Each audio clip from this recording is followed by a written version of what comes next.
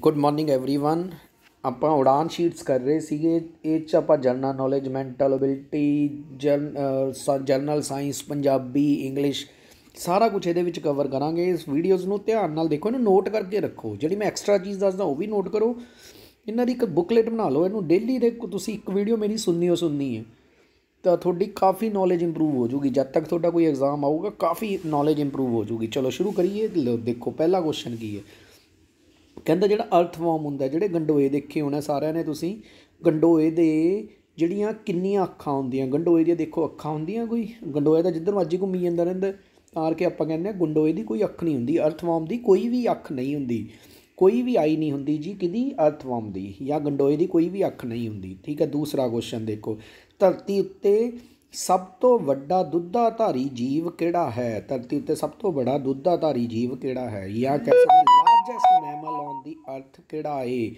ਸਭ ਤੋਂ ਬੜਾ ਮੈਮਲ ਅਰਥ ਦੇ ਉੱਤੇ ਕਿਹੜਾ ਹੈ ਦੈਟ ਇਜ਼ ਬਲੂ ਵੇਲ ਹੈ। ਠੀਕ ਹੈ ਜੀ ਵੇਲ ਸਾਰਿਆਂ ਦੇਖੀ ਹੋਣੀ ਹੈ। ਬਲੂ ਵੇਲ ਜਿਹੜੀ ਹੁੰਦੀ ਹੈ, ਜਿਹੜੀ ਸਮੁੰਦਰ ਦੇ ਵਿੱਚ ਮਿਲਦੀ ਹੈ that is largest mammal on the earth ਹੈ। ਠੀਕ ਹੈ, ਚਲੋ। ਅਗਲਾ ਕੁਐਸਚਨ ਦੇਖੋ ਕੀ ਕਹਿੰਦਾ ਕਹਿੰਦਾ ਆ ਡਾਇਗਰਾਮ ਬਣੀ ਹੋਈ ਹੈ। ਇਸ ਡਾਇਗਰਾਮ ਦੇ ਵਿੱਚ ਦੱਸਣੀ ਹੈ ਕਿੰਨੇ ਬ੍ਰਿਕਸ ਨੇ। ਠੀਕ ਹੈ, ਕਿੰਨੇ ਬ੍ਰਿਕਸ ਨੇ ਇਸ ਡਾਇਗਰਾਮ 'ਚ? ਦੇਖੋ, ਧਿਆਨ ਨਾਲ, ਹਾਂ, ਮੈਂ ਥੋੜਾ ਜ਼ੂਮ ਕਰ ਦਿੰਦਾ। ਦੇਖੋ, ਇਹਦੇ 'ਚ ਆਪਾਂ ਨੇ ਬ੍ਰਿਕਸ ਲੱਭਣੀਆਂ ਕਿੰਨੀ ਹੈ, ਠੀਕ ਹੈ? ਹੁਣ ਇਹਦੇ ਲਈ ਦੇਖੋ ਆਪਣਾ, ਪਹਿਲਾਂ ਦੇਖੋ, ਹੁਣ ਜਿਵੇਂ ਬ੍ਰਿਕਸ ਲੱਭਣੀ ਆਪਾਂ ਨੇ, ਸਭ ਤੋਂ ਪਹਿਲਾਂ ਤਾਂ ਆਹ ਦੇਖੋ, ਇਹ 'ਚ ਕਿੰਨੀ ਹੈ? 1 2 3 4 ਨੇ। ਐਜ ਕਿੰਨੀ ਲਾਈਨ ਹੈ? 4 ਆ ਹੋ ਗਿਆ ਤੇ ਆ ਦੂਸਰੀ ਵੀ ਐਵੇਂ ਨੇ, ਜਿਹੜੇ ਪਿੱਛੇ ਤੱਕ।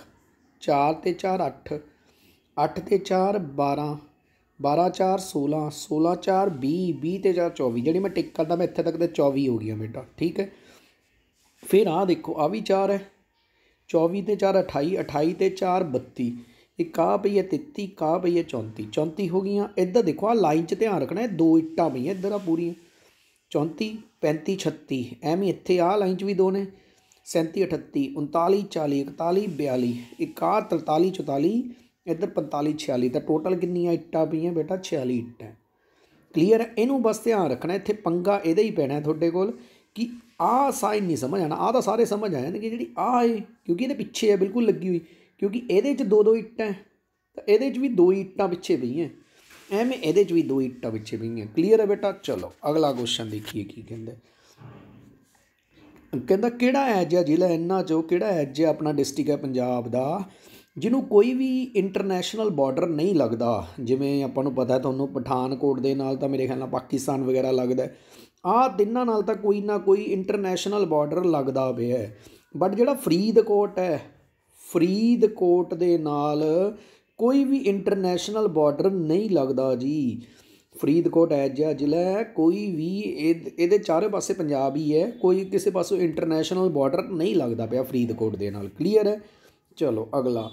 ਕਹਿੰਦਾ ਜਿਹੜਾ ਮਨੁੱਖੀ ਖੋਪੜੀ ਹੁੰਦੀ ਹੈ ਉਹਦੇ 'ਚ ਕਿੰਨੀਆਂ ਹੱਡੀਆਂ ਹੁੰਦੀਆਂ? ਜਿਹੜਾ ਆਪਣੀ ਹਿਊਮਨ ਸਕਲ ਹੈ ਉਹਦੇ 'ਚ ਕਿੰਨੀਆਂ ਬੋਨਸ ਹੁੰਦੀਆਂ? ਦੈਟ ਇਜ਼ ਉਹਦੇ 'ਚ ਬੋਨਸ ਹੁੰਦੀਆਂ ਜੀ ਬੇਟਾ 22 ਕਿੰਨੀਆਂ ਬੋਨਸ ਹੁੰਦੀਆਂ ਉਹਦੇ ਅੰਦਰ? 22 ਬੋਨਸ ਹੁੰਦੀਆਂ। ਕਲੀਅਰ ਹੈ ਚੱਲੀ ਅੱਗੇ?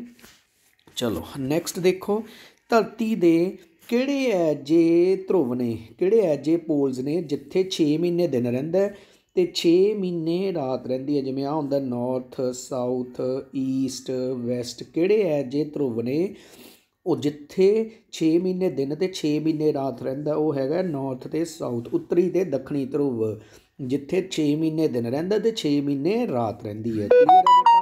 ਚਲੋ, ਅਗਲਾ ਕੁਐਸਚਨ ਦੇਖੋ, ਕਹਿੰਦਾ ਇੱਕ ਵਰਗ ਹੈ ਆ ਵਰਗ ਹੈ ਜਾਂਦਾ ਜਿਹਦੀਆਂ ਚਾਰੋਂ ਭੁਜਾਵਾਂ ਬਰਾਬਰ ਹੁੰਦੀਆਂ ਇਹਦੀਆਂ ਕਿੰਨੀਆਂ ਸਮਮਿਤੀ ਰੇਖਾਵਾਂ ਹੁੰਦੀਆਂ? ਦੇਖੋ ਸਮਮਿਤੀ ਰੇਖਾਵਾਂ ਜਾਂ ਸਿਮੈਟ੍ਰਿਕ ਲਾਈਨਸ ਮਤਲਬ, ਦੇਖੋ, ਇੱਕ ਤਾਂ ਇਹਦੀ ਆ ਸਿਮੈਟ੍ਰਿਕ ਲਾਈਨ ਹੈ। ਜੈਜੀ ਸ਼ੇਪ ਇੱਧਰ ਹੈ, ਖੱਬੇ ਪਾਸੇ ਬਣੀ ਹੋਈ ਹੋ ਰਹੀ ਸੱਜੇ ਪਾਸੇ। ਇੱਕ ਇਹਦੀ ਦੇਖੋ ਆ ਸਿਮੈਟ੍ਰਿਕ ਲਾਈਨ ਹੈ। ਦੋ ਤਾਂ ਲਾਈਨਾਂ ਬਣ ਗਈਆਂ ਸਿਮੈਟ੍ਰਿਕ ਲਾਈਨਾਂ ਹੋਰ ਕਿਹੜੀਆਂ ਸਿਮੈਟ੍ਰਿਕ ਲਾਈਨਸ ਹੋਣਗੀਆਂ ਇਹਦੀਆਂ? ਦੇਖੋ, ਇੱਕ ਆ ਡਾਇਗਨਲ ਜੈਜੀ ਸ਼ੇਪ ਇੱਧਰ ਹੈ, ਉਹੀ ਸ਼ੇਪ ਇੱਧਰ ਹੈ। ਇੱਕ ਹੋਰ ਇਹਦੀ ਸਿਮੈਟ੍ਰਿਕ ਲਾਈਨ ਹੋਊਗੀ। ਦੇਖੋ ਕਿਹੜੀ ਹੈ? ਦੇਖੋ, ਆਹੀ ਹੋਊਗੀ ਆ ਦੂਜਾ ਡਾਇਗਨਲ ਦੇਖੋ, ਇਹਦੀਆਂ ਚਾਰ ਸਮਮਿਤੀ ਰੇਖਾਵਾਂ ਨੇ ਜਾਂ ਸਿਮੈਟ੍ਰਿਕ ਰੇਖਾਵਾਂ ਨੇ। ਕਲੀਅਰ ਹੈ ਬੇਟਾ ਇਹਦੀ ਕਿੰਨੀਆਂ ਸਿਮੈਟ੍ਰਿਕ ਰੇਖਾਵਾਂ ਨੇ? ਚਾਰ। ਕਲੀਅਰ ਹੈ? ਚਲੋ, ਅਗਲਾ। ਵਰਤਮਾਨ ਸਮੇਂ ਵਿੱਚ ਆਪਾਂ ਨੂੰ ਪਤਾ ਹੈ, ਪੰਜਾਬੀ ਦੀ ਲਿਪੀ ਦਾ ਨਾਮ ਕੀ ਹੈ ਬੇਟਾ? ਸਾਰਿਆਂ ਨੂੰ ਪਤਾ ਹੈ, ਪੰਜਾਬੀ ਦੀ ਲਿਪੀ ਦਾ ਨਾਮ ਹੈ ਦੇਵਨਾਗ ਉਹ ਗੁਰਮੁਖੀ। ਉਹਦੀ ਕਿੰਨੇ ਅੱਖਰ ਹੁੰਦੇ ਨੇ? ਗੁਰਮੁਖੀ ਦੇ ਵਿੱਚ। ਵੈਸੇ ਤਾਂ ਹੁੰਦੇ ਸੀ 35 ਬਟ ਵਰਤਮਾਨ ਸਮੇਂ 'ਚ ਉਹਦੇ 'ਚ 41 ਅੱਖਰ ਨੇ। ਕਿਉਂ? 35 'ਚ ਛੇ ਅਕਸ਼ਰ ਕਿਹੜੇ, ਜਿਹੜੇ ਹੋਏ ਨੇ? ਜਿਹੜੇ ਪੈਰ 'ਚ ਬਿੰਦੀ ਆ ਰਹੇ ਜਿਵੇਂ ਤੁਹਾਨੂੰ ਯਾਦ ਹੈ। ਆ ਸੀਗੇ ਪੈਰ 'ਚ ਬਿੰਦੀਆਂ, ਸਖਗ ਜਫਲ 6 ਅਕਸ਼ਰ ਨੇ ਜਿਹੜੇ ਪੈਰ 'ਚ ਬਿੰਦੀ ਵਾਲੇ ਹੁੰਦੇ ਨੇ। ਇਹਨੂੰ ਜੋੜ ਕੇ ਟੋਟਲ ਕਿੰਨੇ ਅੱਖਰ- ਅੱਖਰ ਦੀ ਵਰਤਮਾਨ ਲਿਪੀ ਹੈ? 41 ਅਕਸ਼ਰ ਦੀ। ਚਲੋ। ਕਹਿੰਦਾ, ਸਿੱਖਾਂ ਦੇ ਬਾਲ ਗੁਰੂ ਵਜੋਂ ਕਿੰਨਾ ਕਿਹੜੇ ਗੁਰੂ ਸਾਹਿਬ ਨੂੰ ਜਾਣਿਆ ਜਾਂਦਾ ਹੈ? ਜਿਨ੍ਹਾਂ ਦੀ ਛੋਟੀ ਉਮਰ ਦੇ ਵਿੱਚ, ਛੋਟੀ ਉਮਰ ਸੀਗੀ। ਘੱਟ ਉਮਰ ਰਹੇ ਧਰਤੀ ਦੇ ਉੱਤੇ। ਉਹ ਹੈ ਸ੍ਰੀ ਗੁਰੂ ਹਰਕ੍ਰਿਸ਼ਨ ਜੀ, ਸ੍ਰੀ ਗੁਰੂ ਹਰਕ੍ਰਿਸ਼ਨ ਜੀ। ਹੁਣ ਤੁਹਾਡਾ ਹੋਮ, ਉਹ ਤੁਹਾਡੇ ਲਈ ਹੋਮਵਰਕ ਇਹੀ ਹੈ, ਇਹ ਦੱਸਣਾ ਤੁਸੀਂ ਮੈਨੂੰ, ਇਹ ਕਿੰਨਵੇਂ ਗੁਰੂ ਸਨ ਸਿੱਖਾਂ ਦੇ? ਸ੍ਰੀ ਗੁਰੂ ਹਰਕ੍ਰਿਸ਼ਨ ਜੀ, ਇਹ ਕਿੰਨਵੇਂ ਗੁਰੂ ਸਨ ਸਿੱਖਾਂ ਦੇ? ਮੈਨੂੰ ਕਮੈਂਟ ਬਾਕਸ ਮੈਸੇਜ ਕਰਕੇ ਦੱਸਣਾ ਬੇਟਾ। ਨੈਕਸਟ ਕਹਿੰਦਾ ਚਿੱਤਰ ਬਣਿਆ ਹੋਇਆ ਹੈ। ਇਹਦੇ 'ਚ ਮੈਨੂੰ ਦੱਸਣਾ ਤੁਸੀਂ ਕਿ ਇਸ ਤੋਂ ਅਗਲਾ, ਇੱਥੇ ਆ ਕੁਐਸਚਨ ਮਾਰਕ 'ਚ ਕੀ ਆਊਗਾ? ਦੇਖੋ, ਇਹ ਤਾਂ ਸਿੱਧਾ ਹੀ ਹੈ। ਆਹ ਤ੍ਰਿਭੁਜ ਹੈ, ਇੱਧਰ ਵੀ ਤਿੰਨ ਤ੍ਰਿਭੁਜ ਹੈ, ਇੱਧਰ ਵੀ ਹੈ ਤਾਂ ਇੱਧਰ ਆਹੀ ਹੋਊਗਾ। ਬਾਕੀ ਆਹ ਤਾਂ ਆਉਣਾ ਨਹੀਂ ਕਦੇ ਆ ਵੀ ਨਹੀਂ ਆਣਾ ਆ ਵੀ ਨਹੀਂ ਆਣਾ ਤਾਂ ਆਹੀ ਹੋ। ਕਲੀਅਰ ਹੈ ਬੇਟਾ? ਚਲੋ।